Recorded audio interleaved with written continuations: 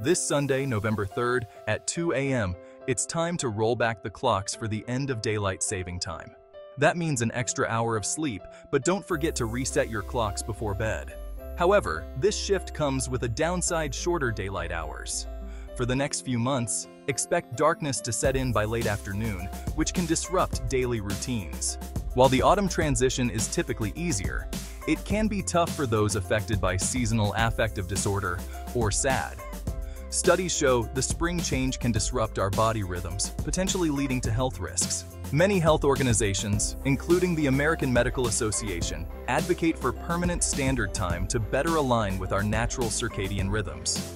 In fact, a coalition led by the American Academy of Sleep Medicine is pushing for this change. Most countries don't observe daylight saving, and in the United States, only Arizona and Hawaii remain on standard time year-round. To ease the transition back to standard time, gradually adjust your bedtime in the days leading up to the change. Increase your morning sunlight exposure to help reset your internal clock. Consider using a sleep mask to block light and improve sleep quality during darker evenings. Lastly, change your clocks the night before to avoid confusion and help your body adjust more smoothly.